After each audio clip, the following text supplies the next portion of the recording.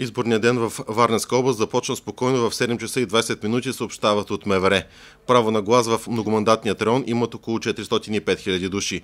Разкрити са 653 секции, от които 412 са в община Варна.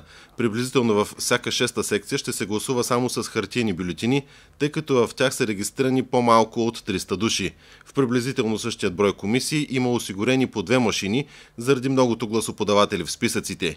Книжата бяха доставени на 8 юли, като са осигурени за всички имащи право на вод, както и резерв в случай на необходимост при проблеми с машинният вод. В региона са доставени 543 машини за гласуване.